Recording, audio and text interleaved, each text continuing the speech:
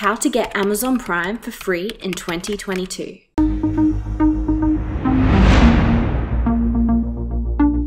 Hey guys, my name is Melissa from Straight to the Point, and you're here because you want to know how you can get Amazon Prime for free in 2022.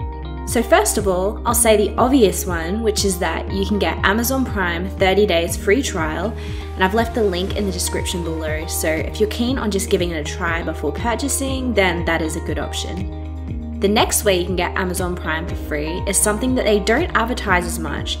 That if you're a student, you can actually get Amazon Prime free for six months.